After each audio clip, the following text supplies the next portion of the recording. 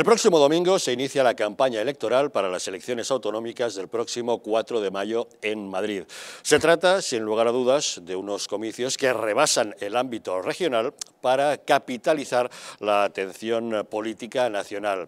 Y es una cita en la que fundamentalmente debemos elegir entre dos diferentes modelos de sociedad. El que acredita Isabel Díaz Ayuso con su gestión, el del liberalismo, la bajada de impuestos, el control de la pandemia, pero sin la paralización de la actividad económica, y el que representa a la izquierda, ya saben, intervencionismo, subida de impuestos y en ocasiones hasta recorte de libertades, tal como nos ha demostrado el gobierno socialcomunista de Pedro Sánchez y Pablo Iglesias. Cualquiera que sea la opción que ustedes elijan, lo importante es ir a votar. Solamente una elevada participación puede garantizar el respeto por los derechos democráticos de los ciudadanos. Bienvenidos a Los Intocables.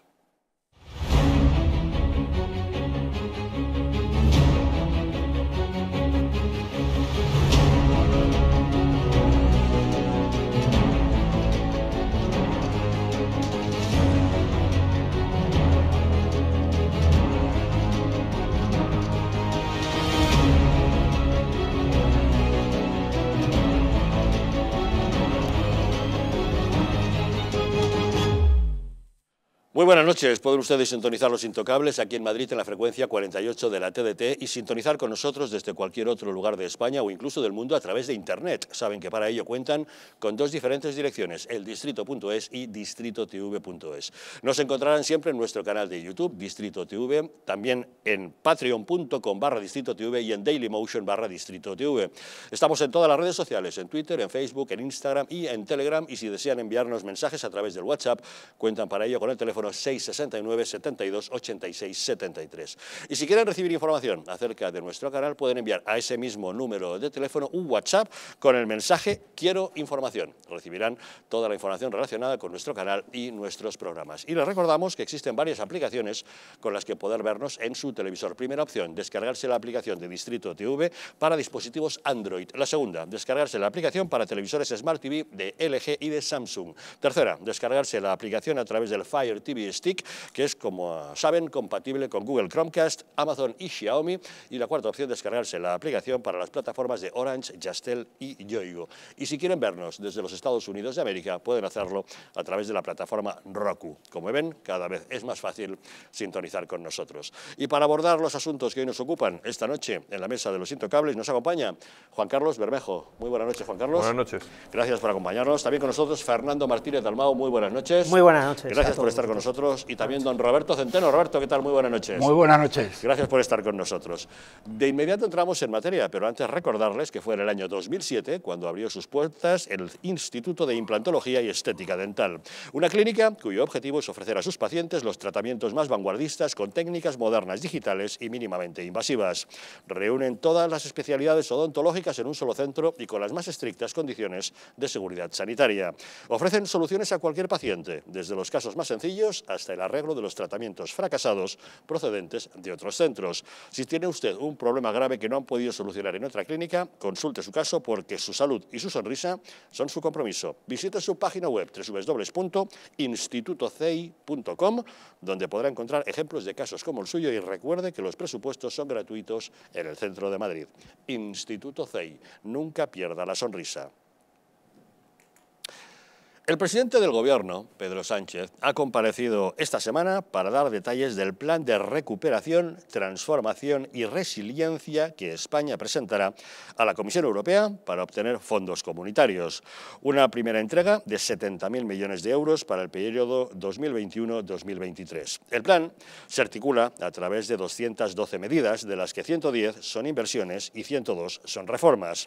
La mayor inversión, un 39%, es para la transición ecológica 29% para digital, 10,5% para educación y formación y 7% para investigación y desarrollo.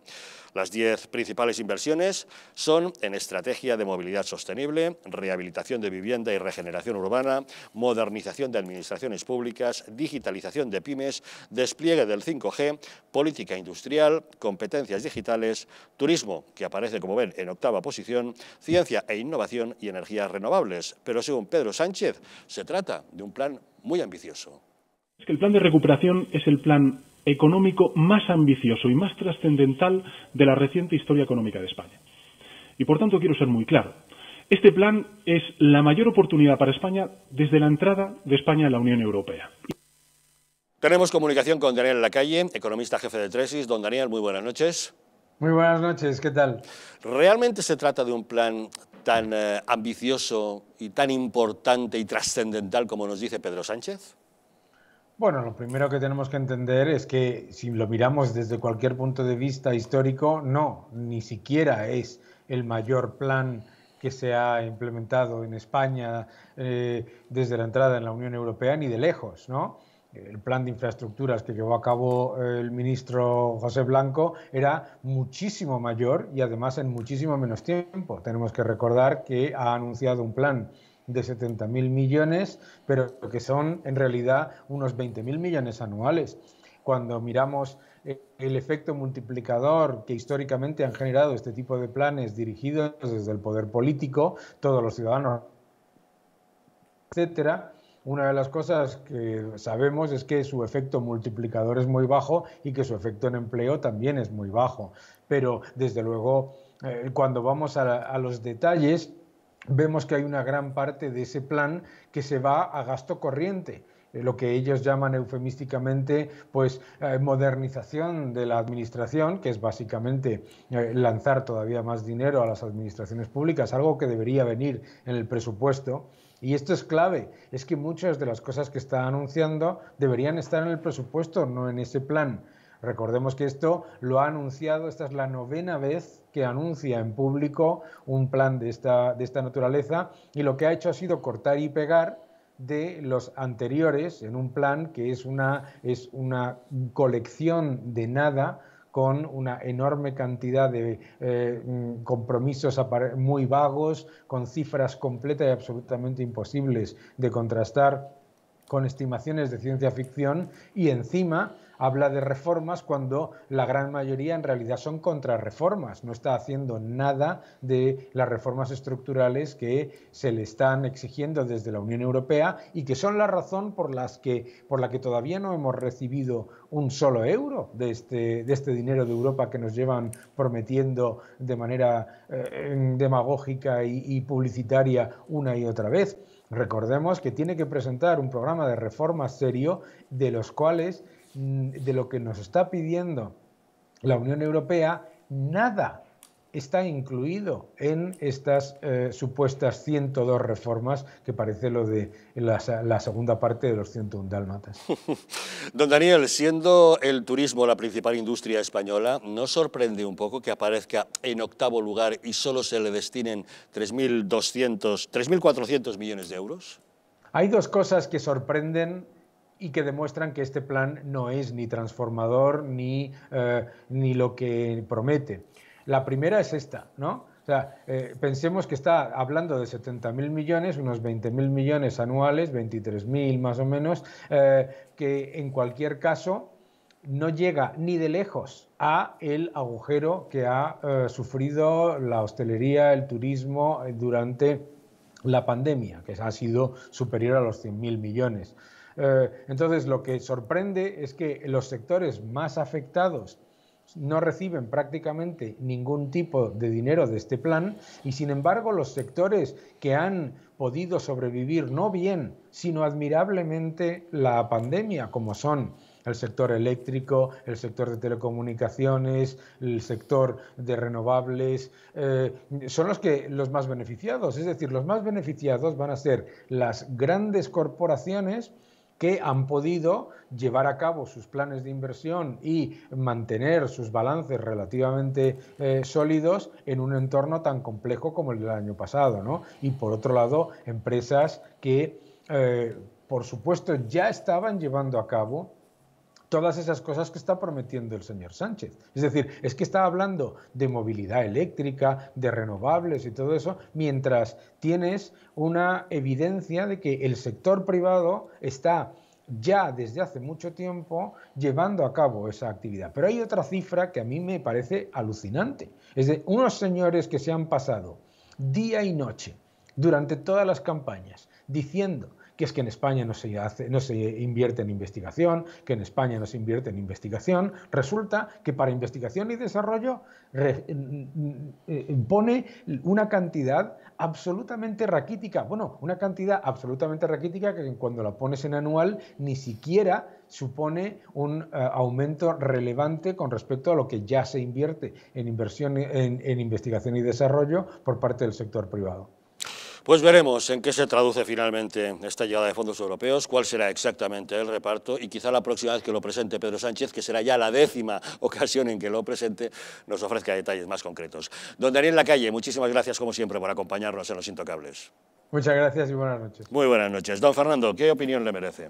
Pues apoyar absolutamente las palabras de don, Daniel Lacalle y además decir eh, lo que siempre hemos mantenido, que de esos 150.000 millones que nos da Europa, solamente, solamente van a llegar el 39% a las manos de empresarios, de sectores eh, que en este momento se encuentran totalmente deprimidos. Y eh, la cifra real son 54.600 millones. El resto, los 85.400 millones, estoy hablando de los 150.000, no de estos primeros 70.000 millones, porque claro, todavía nos lo tiene que aprobar, seguro que Roberto Centeno nos da una clase magistral de todas estas cosas.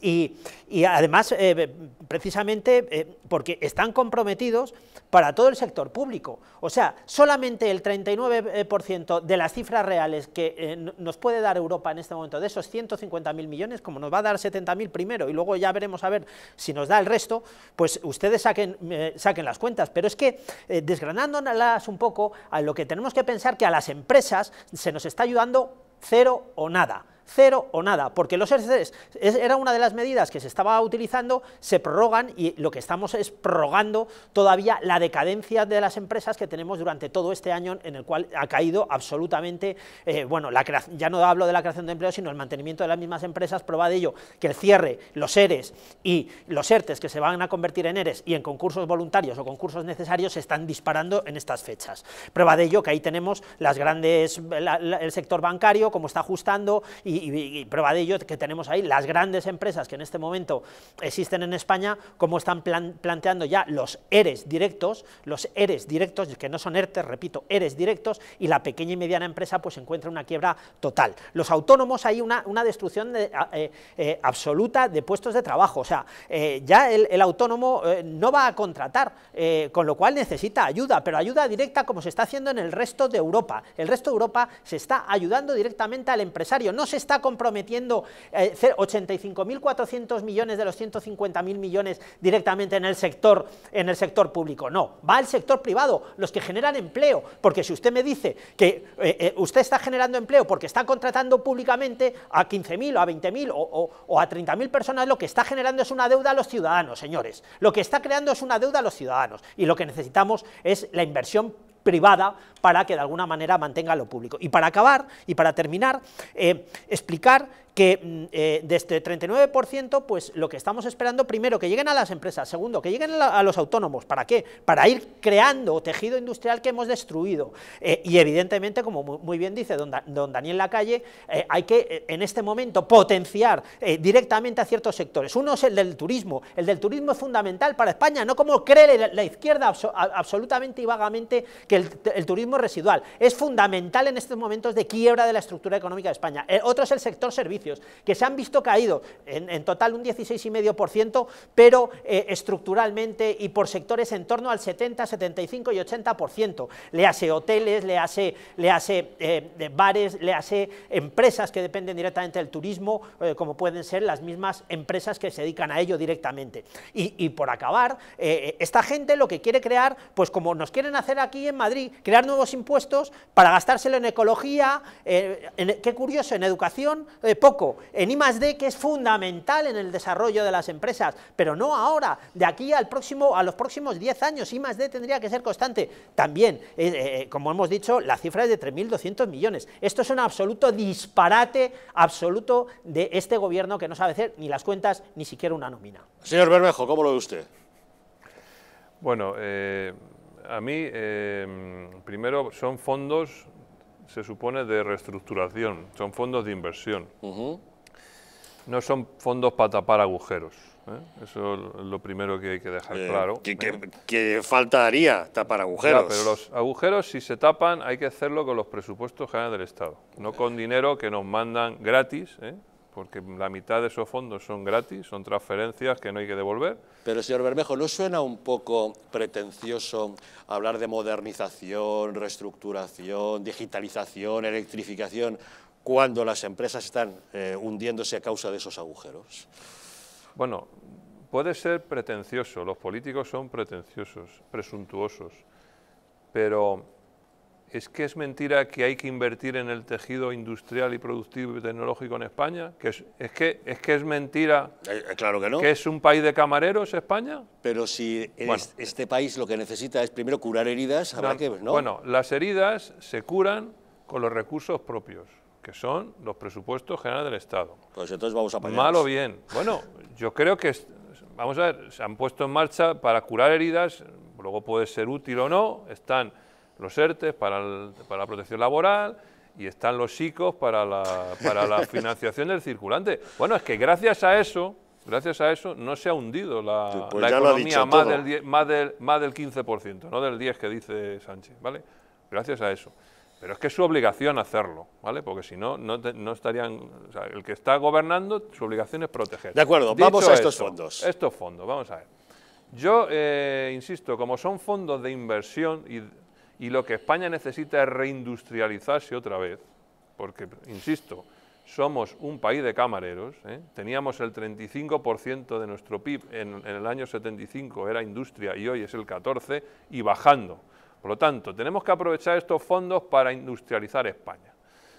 Y a mí eh, esa mm, eh, distribución de los fondos que han hecho, pues en líneas generales no me parece mal. Quizá eh, va demasiado al coche eléctrico, no sé, pero, pero bueno, es que el coche eléctrico tiene un tejido directo e indirecto muy amplio, ¿vale? Y luego decir que no se va a invertir en I D es que eso tampoco es cierto, porque cuando tú destinas 14.000 millones, por ejemplo, al coche eléctrico, parte de esos millones van a la I D de, es- de esa tecnología y de esa industria. La I D que han eh, particularizado en ese esquema es la que se refiere a la inversión pública, Sí, sí. porque la inversión pública en I más D más o menos ahora es el 0,7 del PIB, ¿vale? Son unos 7.000 millones. No le, una si le metemos otros 3.000 millones, público me refiero, que básicamente es para ciencia y sanidad, sanidad y estas cosas, es decir, temas públicos, pues tampoco me parece poco si se aprovecha bien. Otra cosa es que luego se utilice para pagar a la industria política, que eso es lo que a mí me, me- me da eh, pavor.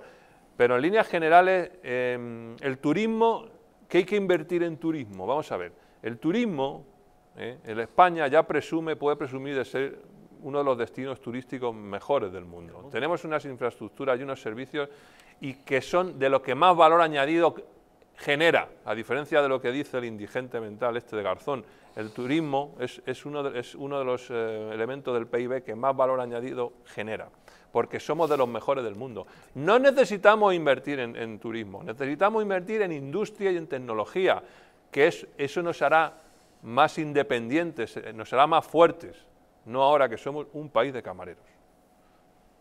Don Roberto, Bueno, vamos a ver. Quiero eh, eh, mm, dar una visión general para que eh, de nuevo los árboles no les impidan a ustedes ver el bosque de, esta, de lo que va a ocurrir.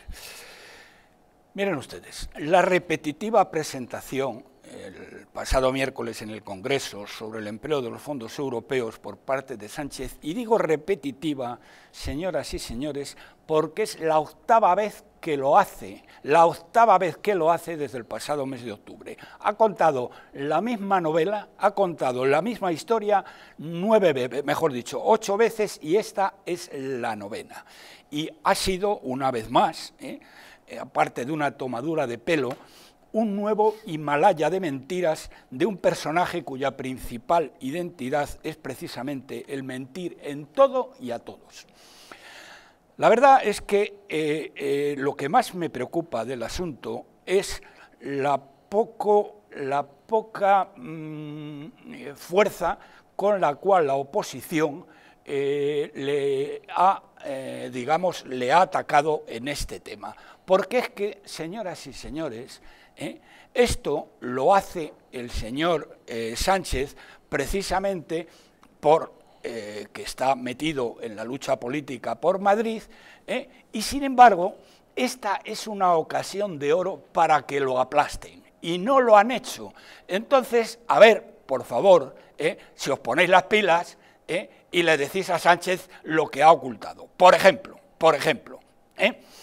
ocultó en primer lugar la más desastrosa gestión económica de Occidente, de los 44 países que monetariza la OCDE. La OCDE son 37, pero monetariza 44. La peor gestión económica. Señores del PP, señores de Vox, a ver si se lo, si se lo eh, plantáis en la cara ante esta colección de chorradas que luego desgranaré. ¿Mm?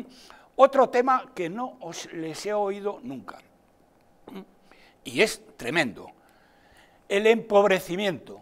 ¿Saben ustedes, señor Casado, señora Abascal, que las familias españolas en el año 2020 se han empobrecido cuatro veces más, oyen ustedes bien, cuatro veces más que la media europea?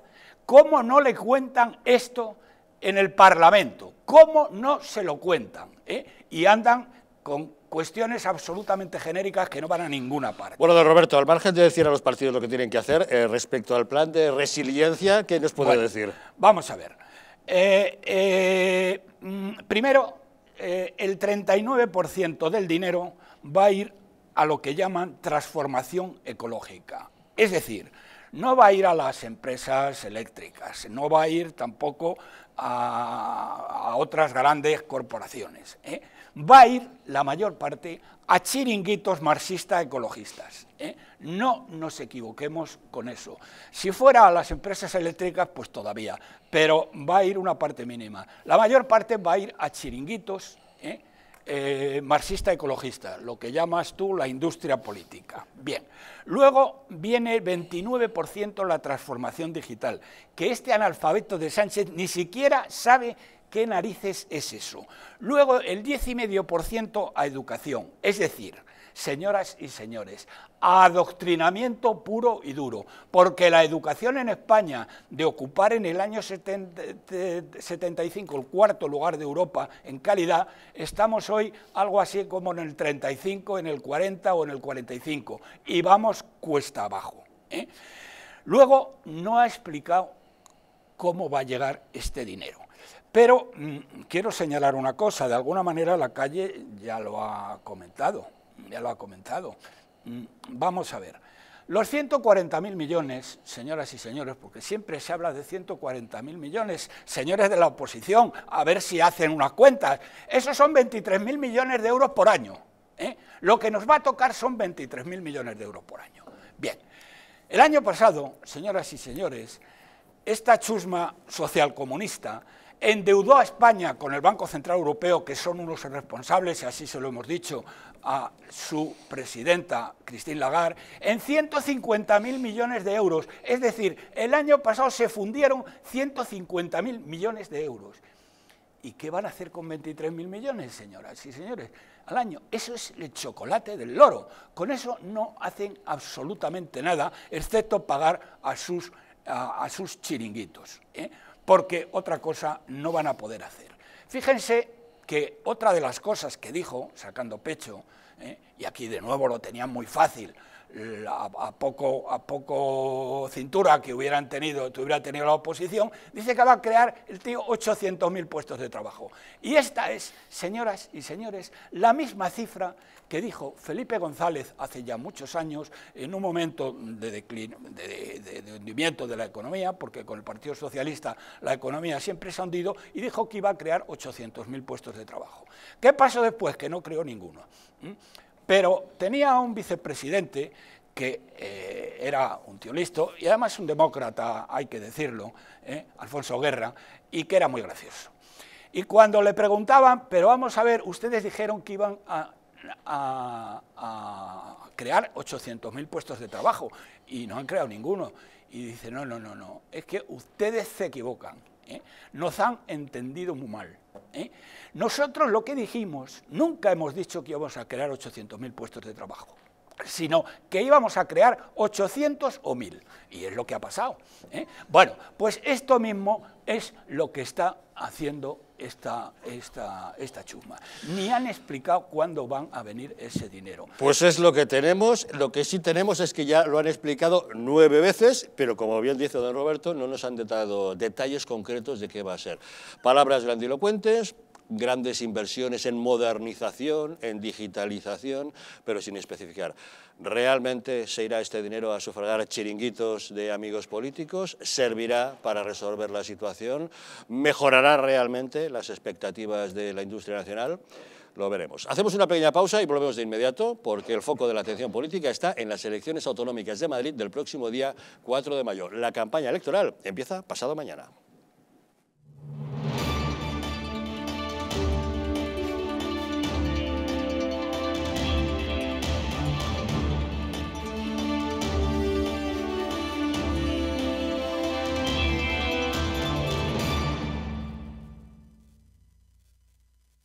¿Sabías que en tu casa hay cinco veces más contaminación que en el exterior?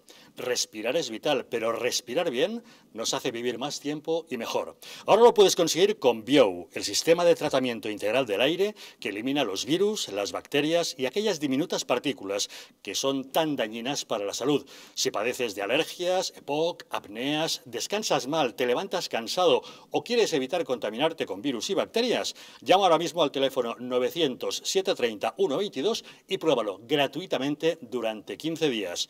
Bio, respirar bien para vivir mejor. La presencia del colágeno en la composición de huesos, piel, ligamentos, cartílagos y tendones es imprescindible para frenar su deterioro. Sin embargo, a medida que envejecemos, su producción se reduce. Colacel Antiox de Mundo Natural combina en una misma toma colágeno hidrolizado puro, antioxidantes, ácido hialurónico y vitamina C que contribuye a la formación normal de colágeno. Haz del tiempo tu gran aliado. Colacel Antiox.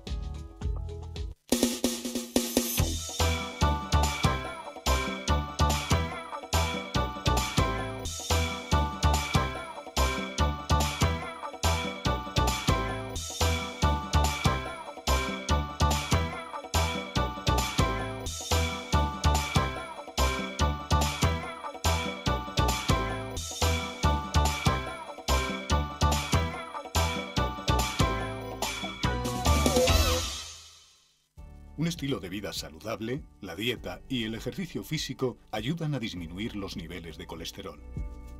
Divecol Forte de Mundo Natural contiene cardo mariano, coenzima Q10 y levadura de arroz rojo que aporta 10 miligramos de monacolina K que contribuye a mantener niveles normales de colesterol sanguíneo. Protege tu corazón, protege tu salud. Divecol Forte de Mundo Natural. La joya de la mujer más poderosa de la cristiandad, la madre que forjó una gran nación, España. Los sueños de la reina Isabel plasmados en un tesoro único. Joyas Históricas presenta el collar de Isabel la Católica, una réplica exacta de la joya de la reina más importante de la historia universal. El collar que enamoró a Isabel la Católica y con el que descubrió un nuevo mundo, ahora puede ser tuyo. La joya que evoca la fuerza de una mujer que fue capaz de concebir la nación más poderosa del mundo. Siente el poder de una reina con el collar de Isabel la Católica. Un diseño de alta joyería que simboliza lo que nunca acaba. La gloria de una nación como España. Llama al 900-730101 y sé una reina. En el año 2007 abre sus puertas al público el Instituto de Implantología y Estética Dental, una clínica cuyo objetivo es ofrecer a nuestros pacientes los tratamientos más vanguardistas con técnicas modernas digitales y mínimamente invasivas. Reunimos todas las especialidades odontológicas en un solo centro y con las más estrictas condiciones de seguridad sanitaria. Ofrecemos soluciones a cualquier paciente, desde los casos más sencillos hasta el arreglo de los tratamientos fracasados procedentes de otros centros. Si tiene un problema grave que no han podido solucionar en otra clínica, consúltenos su caso. Su salud y su sonrisa son nuestro compromiso. Visite nuestra página web institutocei.com donde podrá encontrar ejemplos de casos como el suyo. Presupuestos gratuitos en el centro de Madrid. Instituto CEI. Nunca pierda la sonrisa.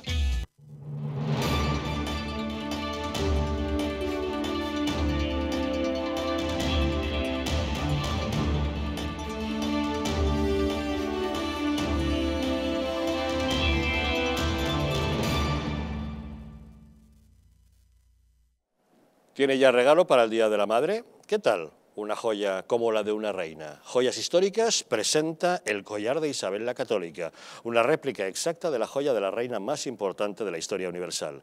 El collar que enamoró a Isabel la Católica y con el que descubrió un nuevo mundo puede ser quizá el mejor regalo para el Día de la Madre. La joya que evoca la fuerza de una mujer que fue capaz de concebir la nación más poderosa del planeta. Siente el poder de una reina con el collar de Isabel la Católica, un diseño de alta joyería que simboliza lo que nunca acaba, la gloria de una nación como España. Llama al 900-730101 y siéntete como una reina.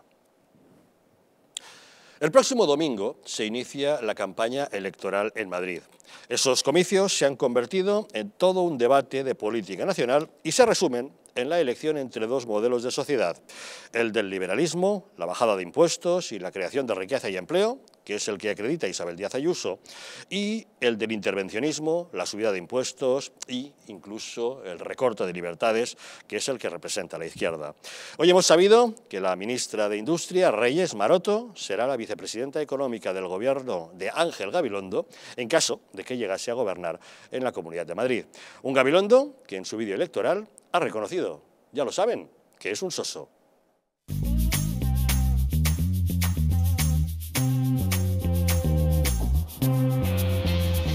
Algunos dicen que soy un soso. Si es por sosegado puede que tengan razón. Será porque no creo en la bronca. Porque cuando hay gritos pido la palabra. Porque cuando se trata de la pandemia, la vacunación y la recuperación económica, no resumo mi programa en Tengo mucho más que decir. Por su parte, Isabel Díaz Ayuso, en su vídeo electoral, lo que pretende trasladarnos es la cultura del esfuerzo. En las imágenes vemos a la presidenta madrileña, enfundada en ropa de deporte, corriendo por las calles de Madrid, con su mascarilla, con la bandera de la comunidad. La vemos recorriendo diversas calles en las que los comercios y establecimientos abren sus puertas al público. Una referencia clara a la política que ha mantenido en la pandemia. Farmacias, supermercados, peluquerías o terrazas abiertas de los bares. La presidenta pasa por delante de los teatros del Canal y del Hospital Isabel Zendal, referencia de la lucha contra el coronavirus. Recibe el saludo de las personas con las que se cruza, discurre por Madrid-Río y finalmente acaba su carrera en la Puerta del Sol, justamente ante el edificio de la Presidencia de la Comunidad de Madrid. Son los vídeos de ambos eh, candidatos. Señor Bermejo, ¿qué nos vamos a encontrar en estas elecciones? Eh, pues hay incertidumbre, yo creo, ¿no? porque ya lo hemos comentado otras veces, a, medida que vaya llegando el día de las votaciones, eh, la popularidad de Isabel probablemente vaya creciendo y eso puede llevar consigo que, que otras fuerzas que la puedan apoyar en la, en la investidura pues no, no entren en el Parlamento. Y si eso ocurre, pues no gobernará. Es así de simple. Entonces yo creo que van convergiendo los datos en esa dirección. Es cierto que hay muchas personas que usan el raciocinio y dicen, eh, sí, bueno, que gobierne Isabel, pero es que eso de dejarle mayoría absoluta al Partido Popular, que no nos olvidemos lo que es el Partido Popular de Madrid, una organización criminal como el PSOE de Andalucía, pues a lo mejor es bueno que alguien les esté controlando en ese sentido, ¿no? Y ahí pues creo que hay dos partidos que podrían hacerlo. Uno no lo ha hecho en el pasado, que es el mío, por eso ahora Ciudadanos. Por eso ahora estamos por eso estamos y somos los principales responsables de que hoy haya elecciones en Madrid sobre todo el vicepresidente Aguado por su infame comportamiento. Pero bueno, yo creo que eso ya, mm, eh, no sé si nos darán la segunda oportunidad a los ciudadanos de poder demostrarles que como somos realmente, en las raíces de nuestro partido, pero sí también me preocupa la, caída paulatina que va teniendo Vox, ¿no? Eh, porque a diferencia de, por ejemplo, en Cataluña o en otras regiones que sí que estaba creciendo su intención de voto, en cambio en Madrid hoy ha salido otra encuesta que ha, que ha publicado GESOP, que es una casa que a mí me da mucha credibilidad, GESOP, y también le da pues un estancamiento a Vox y también dice que nosotros no llegamos ni al 4%. Ya. Tenemos comunicación con Julio de la Fuente, periodista de Europa Press. Don Julio, muy buenas noches. Hola, buenas noches. ¿Qué tal, compañeros? ¿Cómo, cómo definiría usted estas elecciones del 4 de mayo? Pues unas elecciones totalmente polarizadas. Es verdad que siempre se utilizan los, mismos términos, pero, pero está claro. Además, unas elecciones totalmente nacionales que pueden decidir o definir el futuro de, la reorganización política en España, sobre todo en la derecha, porque tenemos un, partido de ciudadanos de capa caída que cada vez eh, tiene menos presencia institucional y en los, y en los eh, parlamentos. Y el saber el papel de Vox, eh, conocer si Pablo Casado fía todo a la desaparición de Ciudadanos para ganar a Pedro Sánchez, también conocer la verdadera fuerza que puede tener eh, alguien como Pablo Iglesias en Madrid, si derrota a su enemigo político eh, o íntimo enemigo político llamado Errejón, Íñigo Errejón, a través de la figura de Mónica García aquí en Madrid, pues bueno, son todas muchas cartas de, una baraja totalmente nacional y totalmente polarizada, con seis partidos en, escena, que, eso es también complicado de calibrar, eh, Javier. Esa polarización nos hace que aquí tengamos dos carteles, por un lado el de Isabel Díaz Ayuso, por el otro el de la izquierda. Si tuviéramos que definir, ¿cuál es la mayor fortaleza que ofrece Isabel Díaz Ayuso en esta campaña? Pues a mi juicio, eh, la campaña la está desarrollando bien, es decir, sin meterse en determinados eh, charcos. Eh, sus fortalezas, pues lemas claros, directos y a determinados sectores que intentan que sean mayoritarios y que se define ella a sí misma intenta conseguirlo a través de, su partido, de sus propuestas y de su experiencia en estos dos años en la Comunidad de Madrid como el partido de los madrileños, que más se acerca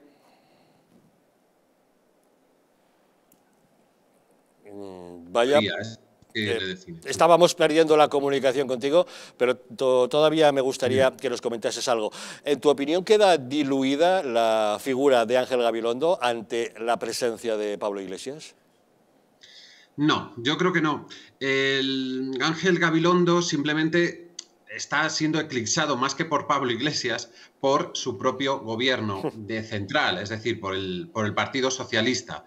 Eh, ¿Por qué? Pues hemos visto que le está diseñando la campaña Iván Redondo, le ha colocado muchos números en, su lista electoral a la Asamblea, eh, muchas personas, y también, por ejemplo, mientras Ángel Gabilondo intenta pescar algún voto eh, perdido de Ciudadanos o de la derecha con los impuestos sin tocar, como ha prometido para los próximos dos años, el mismo día pues el gobierno de España anuncia una armonización fiscal que no deja de ser una subida encubierta de los impuestos en la Comunidad de Madrid, porque están, son los más bajos de, España a nivel autonómico.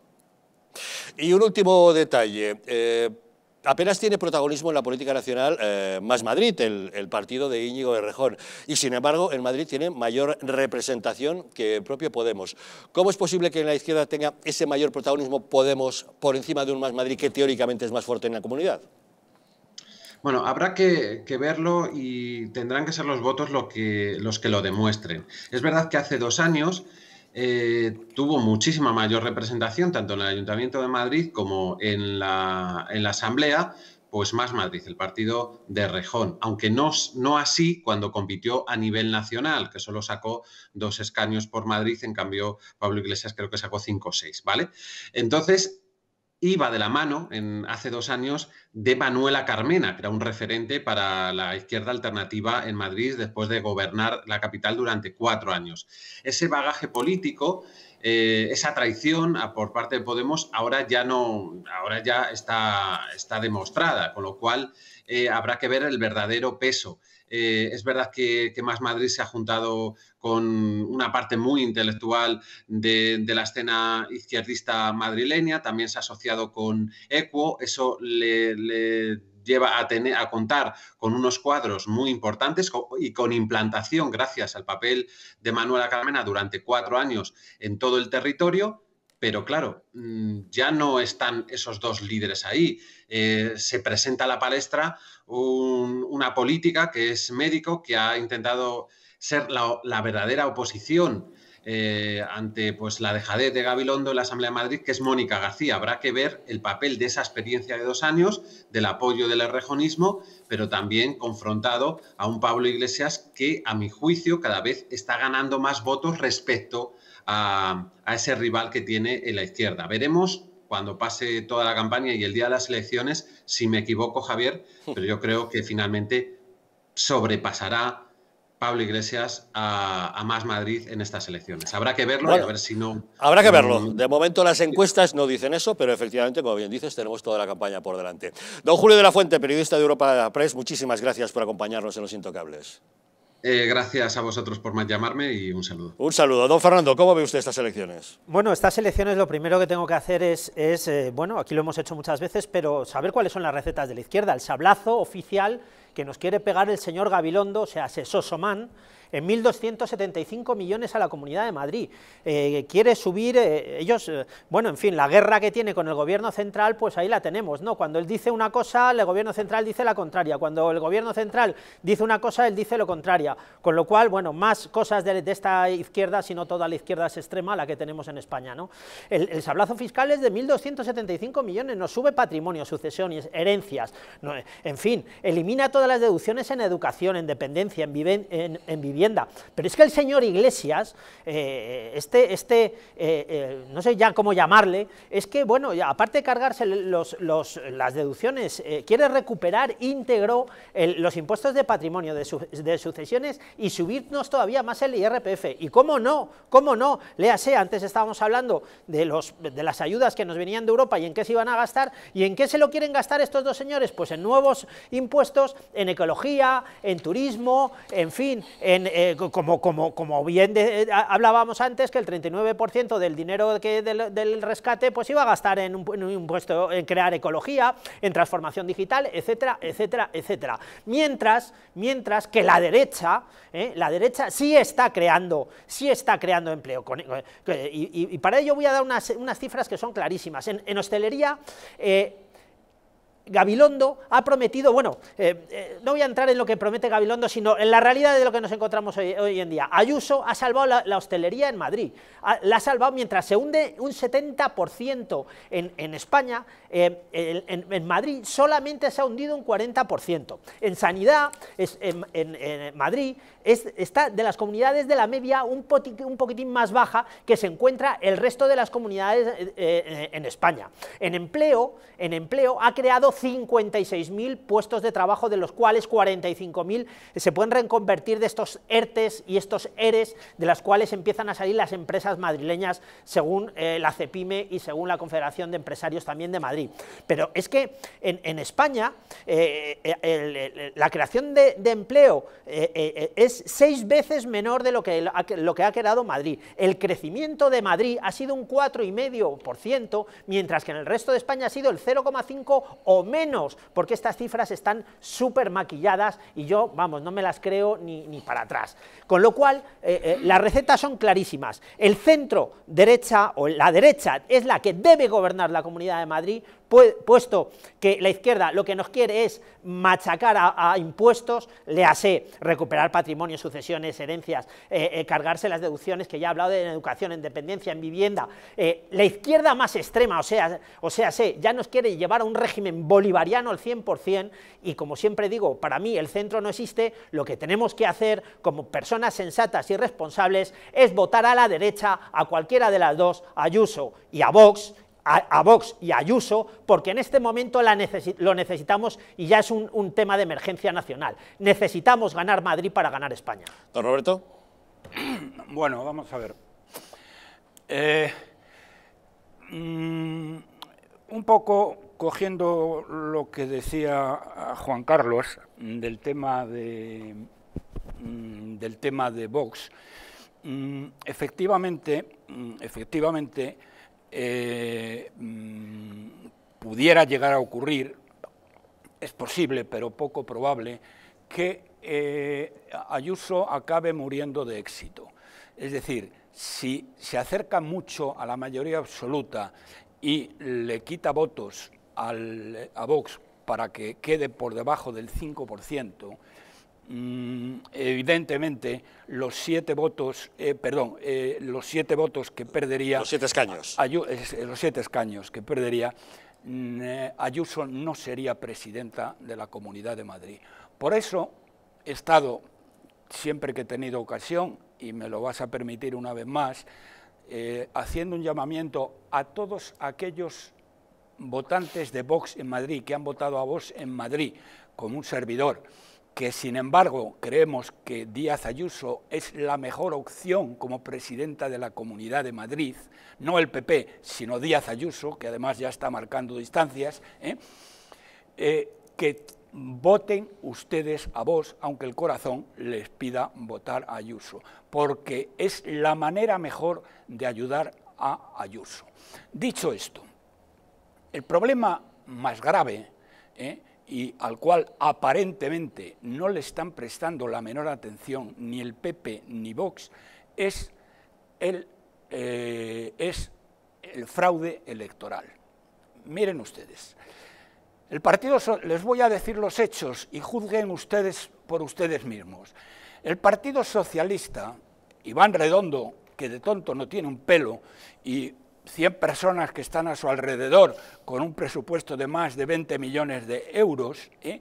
tiene una lista de 1,3 millones de personas que no han votado jamás en Madrid en ninguna votación en los últimos 20 años, 1,3 millones de personas.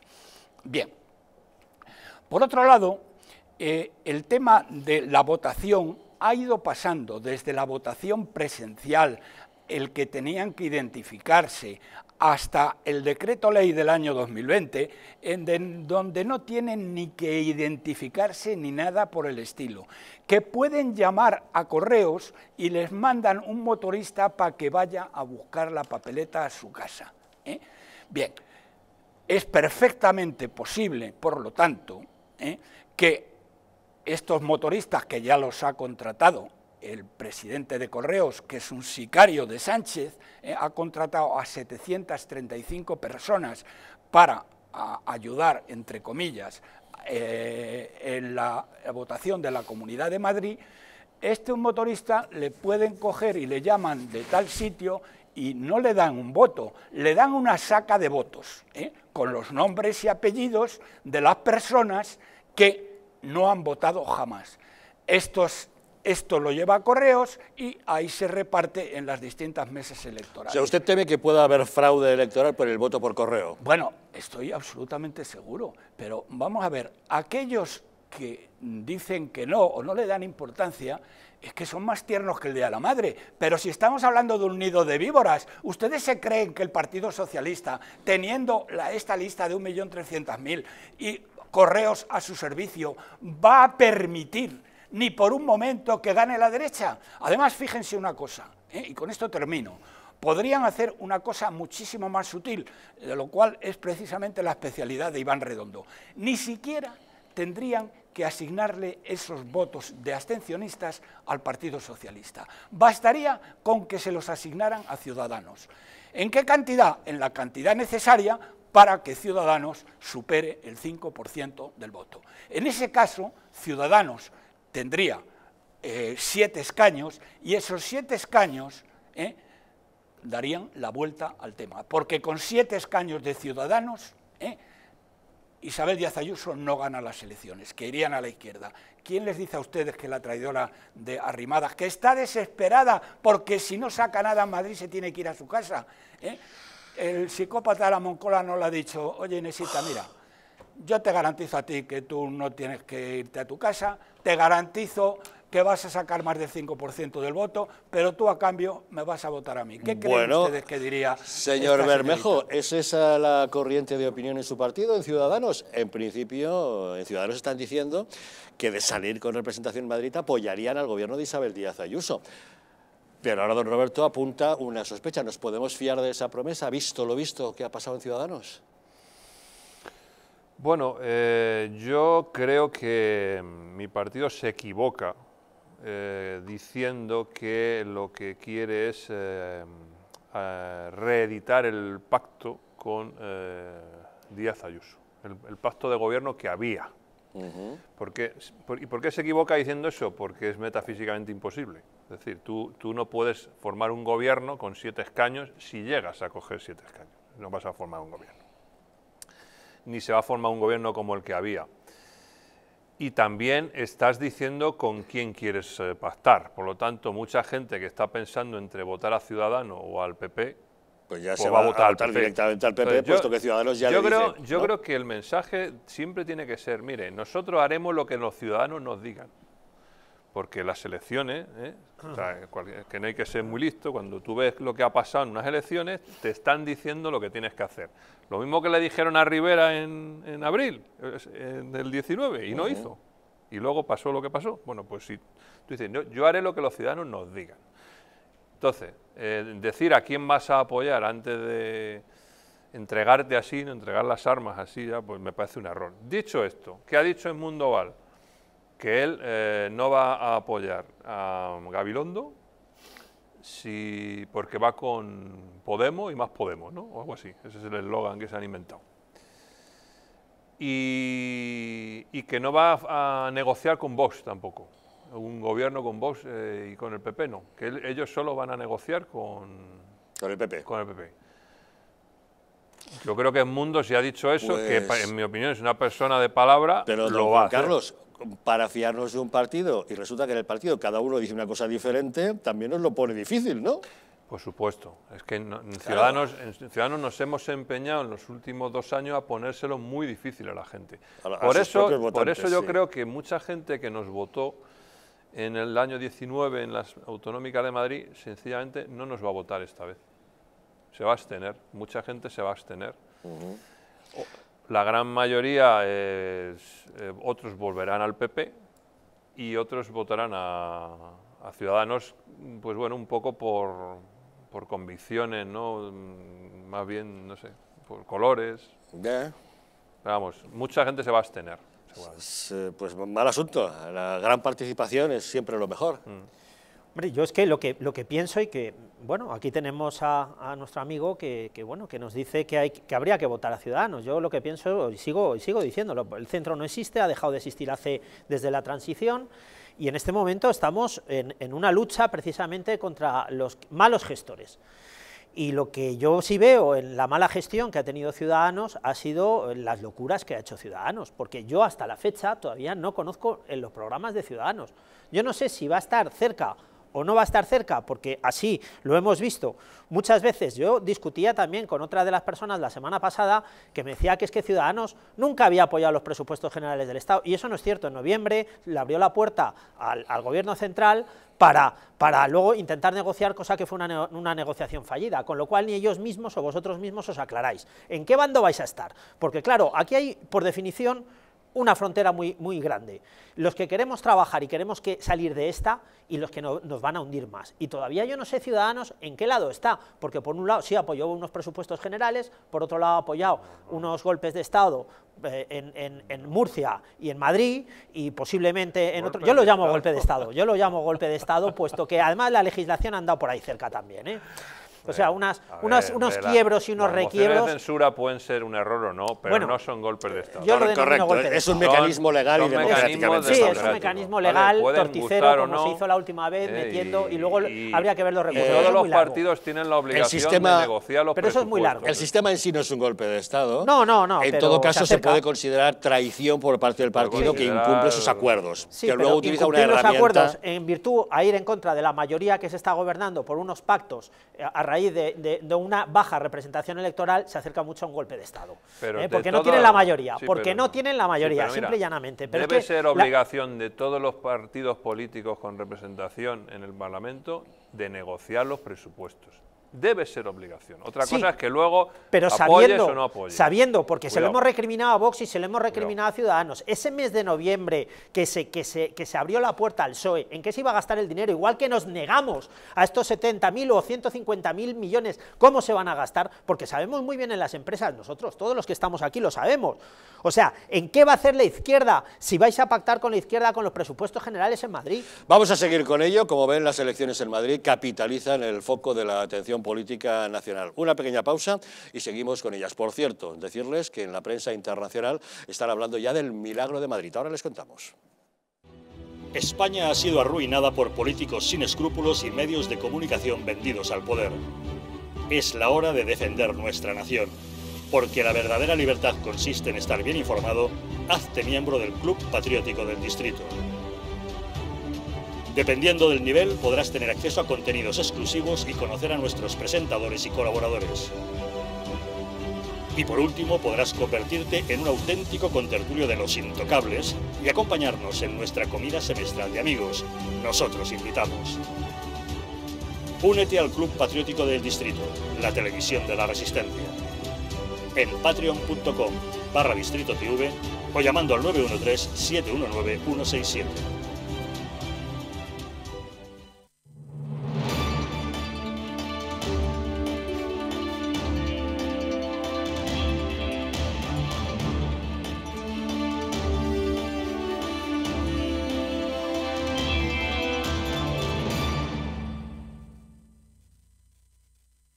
¿Sabías que en tu casa hay cinco veces más contaminación que en el exterior?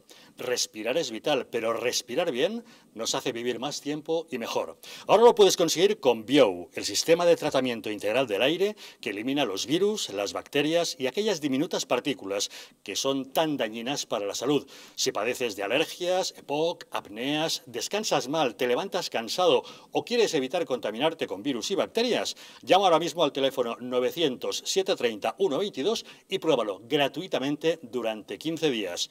Bio, respirar bien para vivir mejor. La presencia del colágeno en la composición de huesos, piel, ligamentos, cartílagos y tendones es imprescindible para frenar su deterioro. Sin embargo, a medida que envejecemos, su producción se reduce. Colacel Antiox de Mundo Natural combina en una misma toma colágeno hidrolizado puro, antioxidantes, ácido hialurónico y vitamina C que contribuye a la formación normal de colágeno.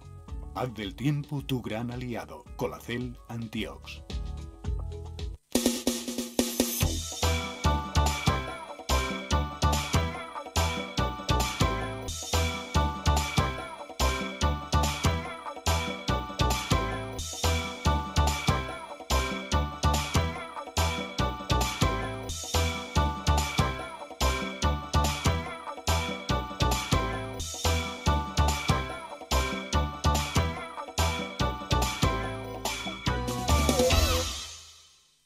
Un estilo de vida saludable, la dieta y el ejercicio físico ayudan a disminuir los niveles de colesterol. Divecol Forte de Mundo Natural contiene cardo mariano, coenzima Q10 y levadura de arroz rojo que aporta 10 miligramos de monacolina K que contribuye a mantener niveles normales de colesterol sanguíneo. Protege tu corazón, protege tu salud. Divecol Forte de Mundo Natural. En Alurin Clinic la medicina se convierte en cuidado y belleza gracias a nuestros expertos médicos estéticos y cirujanos plásticos. Escuchamos al paciente, diagnosticamos y ofrecemos las mejores soluciones médicas adecuadas para cada caso. Rejuvenecimiento facial, ojeras, labios y un largo etcétera se tratan con una amplia gama de técnicas novedosas y productos de primera calidad. Nuestra reciente unidad de cirugía estética también es capaz de cubrir tus necesidades quirúrgicas desde el primer momento o aportar ese plus cuando la medicina estética no llega. Consúltanos acerca de la pérdida de peso bajo control médico, porque realmente nuestros pacientes son especiales para nosotros. En Alurin Clinic encontrarás cómo llegar a tu mejor yo.